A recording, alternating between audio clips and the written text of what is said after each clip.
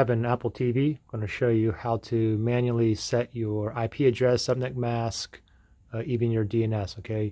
Very, very simple. So first thing you got to do is just go and grab your remote. You want to go to the main page. Just You can just press and hold uh, menu down or go to this area here where all your apps are. We're just going to go down directly to settings here. And then from settings, you want to scroll down and you want to go directly to network right here. And then from here, you want to go ahead and uh, highlight the Wi-Fi. You can see my connection there. Go ahead and click on OK on the remote. And then you want to click on OK again.